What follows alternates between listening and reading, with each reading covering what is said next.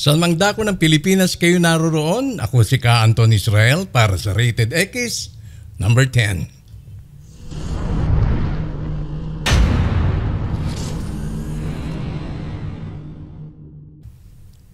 Ang inyong lingkod ay isa lamang po sa mga lead convener ng Samahang X sa Smuggling Movement. Ang aming samahan, gamit ang social media at digital space, ay umaagapay sa panawagan ng Pangulong Marcos na mapuksa ang agricultural products smuggling. Sa ganang yan, ang inyong lingkod at ang Rated X ay nakatuon sa problema ng cigarette smuggling at ng fake cigarette production and distribution. Samahan po ninyo ako sa aking paghahatid balita at impormasyon na tanging dito lamang sa Rated X masusumpungan.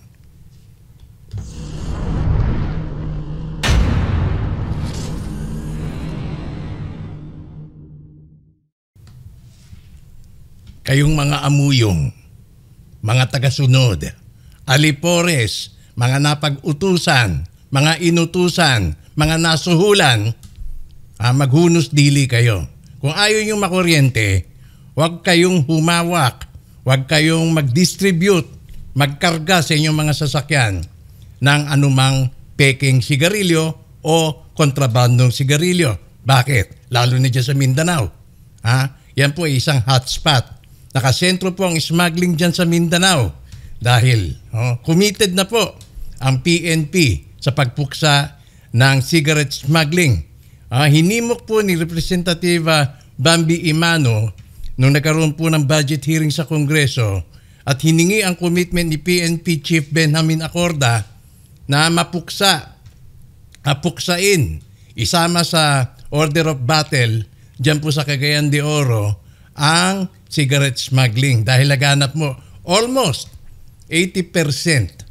80% na na nabibiling sigarilyo dyan sa Cagayan de Oro at sa Karatig Misamis Oriental ay, naku po, binubuo po ng smuggled cigarettes. Na nasa na po napupunta yung 20%. Doon po doon sa mga legal. Eh marami pong umaasang pamilya, mga kawani, ah, mga manggagawa, diyan po sa ating uh, produksyon ng legal cigarettes. Pero nauuwi po, kinakain po yung merkado neto pong mga smuggled cigarettes. Bukod po dyan, dyan po sa Misamis Oriental, eh meron pong tobacco production farms. Ah, mabot po ng 700 hectares na, na mga pamilyang umaasa po sa tobacco production. Tapos yan pa ipapasukan lamang. Ah, papasukan lamang ng mga sindikato ah, na inaagaw yung market share, inaagaw yung kinikita ng mga lehitimong kumpanya ng ating mga magsasaka at napupunta po saan? doon po sa kanilang criminal activities. Yan po ang ating pag-uusapan ngayon dahil meron pong nabunyag ah, ang isang profesor na Sri Lanka na si Professor Nara, Rohan, Rohan, no? Gunaratna. Kinukoy po niya ang mga uh, heinous crimes uh, activities ng mga dating tin- kinikilalang terorista ay pumihit na po sila sa kalakalang smuggled cigarettes. So dito po sa ating ulat, pinakahuling ulat, ah, uh, hinimok po ni Representative Umano at sinabi naman po, kinumit naman po ng ating PNP chief na kanila pong pupuksain na isama na po ang smuggled cigarettes sa kanilang order of battle. Kaya ano nangyari? Ah, ano nangyari? Sa Sambuanga, oh, ito pa naman eh, miyembro ng ah, PCG, Philippine Coast Guard, Oh, ay nagbayahe. Nagbabiyahe ng sigarilyo. Nahulihan po siya dahil po sa checkpoint ng PNP. Oh. Ilan ho ang nahuli sa kanya? 400 reams of cigarettes plus 88,000 pesos. Ah, ayon po rito sa ulat, ang pangalan po nung nahuli, nahuli ay si Sansangan. Isa po siyang seaman, uh, kanyang uh, first class seaman ng uh, Philippine Coast Guard. Uh, tapos siya po ay nakakasuhan ng violation ng Tax Reform Act of 1997. Ang tanong ho, ang tanong, saan nang galing yung 400 reams of cigarettes na dala-dala sa sasakyan ni Sansangan? Yun ang pinaka ah, logical na tanong. Saan ang galing yan? Yan ba ay binili mo para i-negosyo? Hmm? Alam mo namang bawal. Ah, alam mo namang hot item. Alam mo namang makukuryente ka. Saan galing yan? Yan bang rims of cigarettes na yan? 400 rims of cigarettes na yan. Bahagi ng suhol mo? May nakulimbat ba kayo? May nasita ba kayong ah, sasakyang pandagat? At yan ang ipinansuhol sa mga sa at sa mga kasama mo? Eh yan po isang mga ma- magandang katanungan sana at sana mabigyan ng kasagutan. Ah, kung bakit ikaw ay nag-engage? Ah, nagdala ka ng 800 ah, ri- ah, 400 reams of cigarettes iyong sasakyan. Ayun tuloy, ano nangyari? Kumpiskado. Kumpiskado yung sigarilyo, kumpiskado yung sasakyan, nadala niya, at yung 88,000 pesos na nakita sa kanya.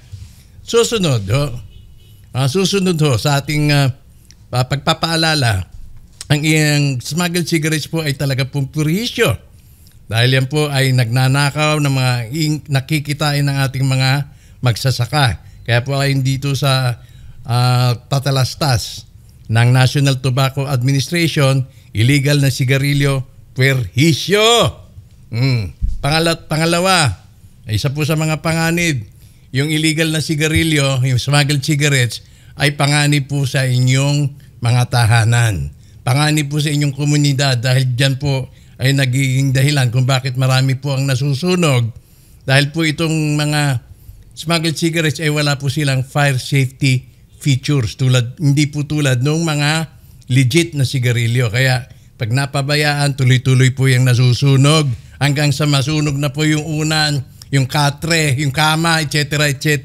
at ang buong bahay at yung mga kapitbahay pa. Kaya kayo mga kapitbahay, kung meron po kayong kakilala na mahilig pong bumili ng mga smuggled cigarettes, eh pagsabihan po ninyo, isumbong po ninyo sa inyong barangay captain, eh bakit? Pinakikialaman mo. Sasabihin siyempre, ba't mo pinakikialaman yung sinisigarilyo ko? Eh dapat naman namin pakialaman dahil fire hazard yung sigarilyo mo. Ah, tatapon mong ganyan. Eh hindi po humihinto yung apoy hanggang sa kaduluduluhan eh. Ah, hindi ho gaya ng mga kilalang brand, meron po silang fire safety features. At siyempre, bakit po natin dapat isumbong? Ha? Kaya nga po tinaasan ng husto. Nasusobrahan nga lang. Kaya nakakainganyo ng mga smugglers. Eh para po mapi- ma-prevent, maiwasan yung mga kabataan lalong-lalo na na ma- makabili ng sigarilyo. Ah, ang, ang strategy po kasi ng ating mga babatas, taasan ang presyo ng sigarilyo at nang sa ganun, unreachable almost at unreachable level, mahirap maka ah, makakumpuni o mahirap makapag ah, raise ng 10 pesos ay siyempre mababawasan no ang konsumo. Pero dahil nga po may smuggle, 5 piso lang, eh nagiging pong kaaya-aya. At eh, yan po ay nagiging mapaminsala ho, sa kalusugan namang lalo ng, lalong-lalo na ng mga kabataan at hindi lamang ho yan, ng pangkalahatan na iniiwas nga po kaya ho tinaasan ang presyo ng sigarilyo sa pamamagitan ng excise tax. O, yan po, eh, mapanganib po talaga. Pure talaga yan. Kaya sasabihin mo ng iba na hindi ho kami dapat ma-involve, hindi po totoo yan. Dapat po ang bawat isa sa atin ay ma-involve ho dito dahil po sa perhisyon dulot ng smuggled cigarettes sa kabuhayan, perhisyo sa kalusugan, at perhisyo rin po sa seguridad ng ating komunidad.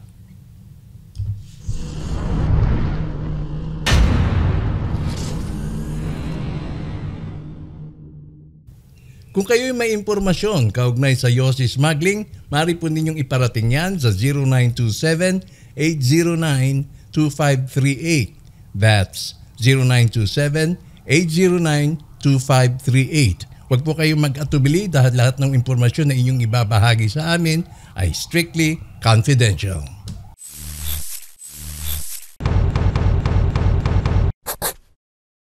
Pinaabot ko rin po ang aking panyaya na ang Eki sa Smuggling ay nasa Facebook po. Yan po ay nasa facebook.com slash Eki sa Smuggling.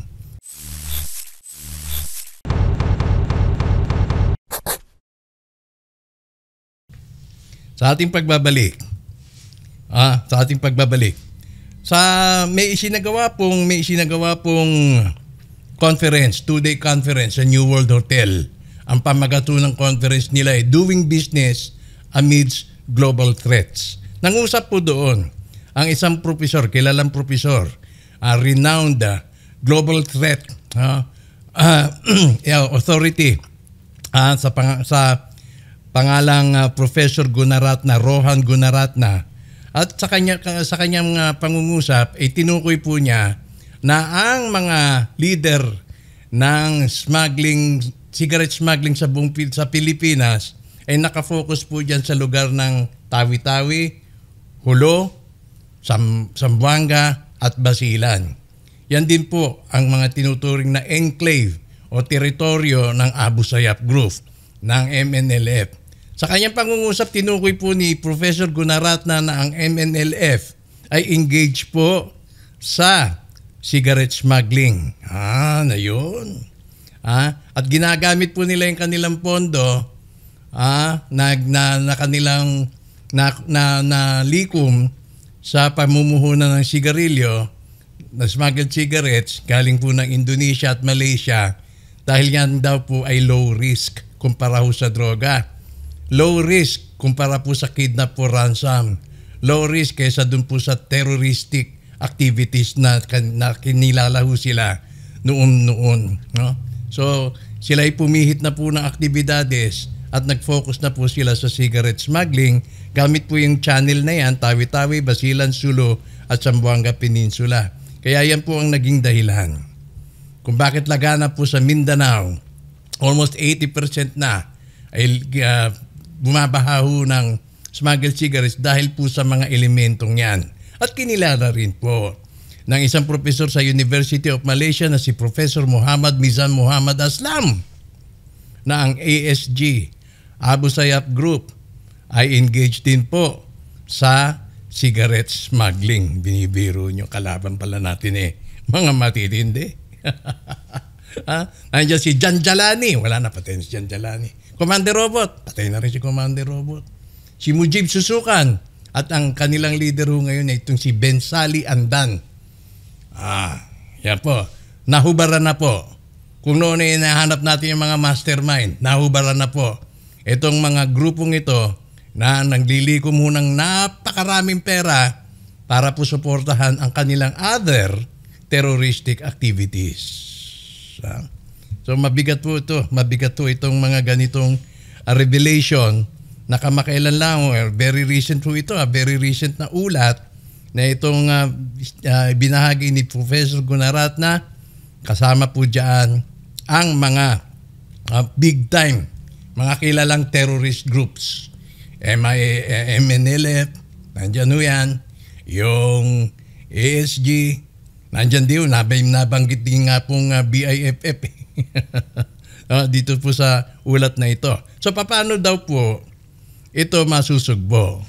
Uh, ayon sa kanyang panukala, uh, kailangan daw po itong uh, korupsyon. Uh, masugpo po muna yung korupsyon dahil gumagamit po sila ng mga galamay. Galamay authorities sa gobyerno, sa military, sa pulis para po ma-facilitate ang kanilang smuggling activities at palakasin po yung border control. Ma, magkakaroon daw ng monitoring, regional sharing of intelligence information. Okay naman po yan. Particular sa Malaysia, Indonesia, kung saan po very smooth. Ah, smooth. Gamit po yung mga sasakyan pandagat ng mga nandiyan sa ating mga kapatid sa Mindanao eh na smooth po nilang na, na transport yung mga yan. Buti na lang ho salamat po sa PNP. Salamat po sa PNP. Approve tayo dyan.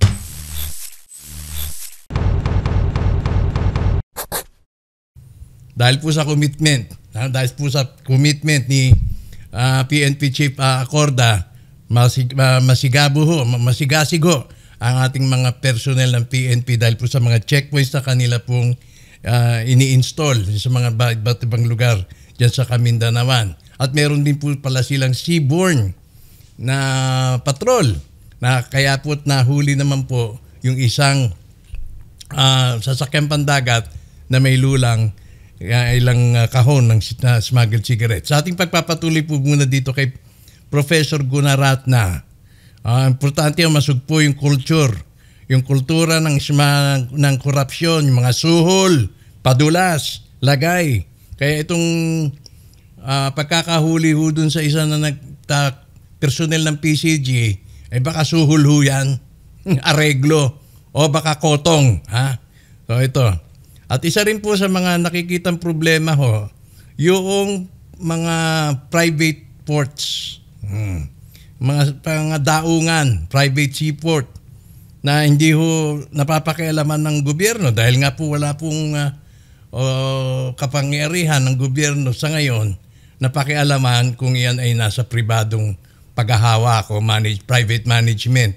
Kaya yan din po kasi ay nagiging channel na ginagamit pong sandata o tool ng mga smuggler para po ma- makap- makapasok yung mga smuggled cigarettes.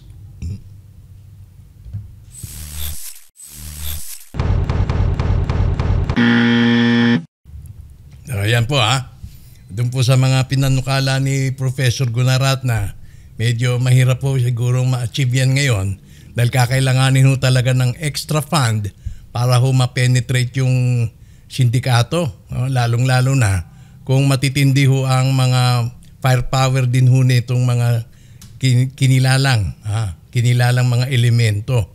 Tapos eh, kung uh, yung mga private ports na yan, paano po yan mapapasok ng gobyerno, makakasali ho yung gobyerno sa proseso ng pag-monitor, eh, isa rin pong question. Pero maasa ho tayo sa pagpasaho ng House Bill 9280, 9284 at yan po iakit na ho sa Senado. Sana po ay mailabas na po at maging ganap na batas na ho ito para next year ay ma-implementar na.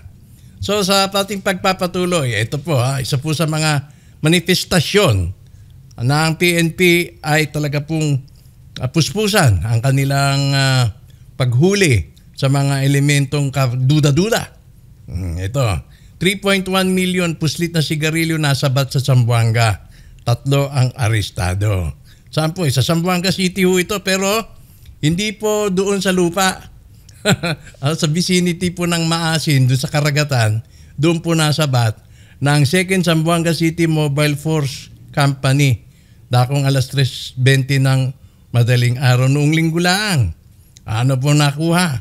21, 21 master case ng Canon, 10 master case ng Astro Red, 20 master case ng Bravo Red, 35 master case ng Fort Mentol at apat na master case ng RS Mentol na umaabot sa kabuhang 90 master cases at nakakalaga ng 3.150,000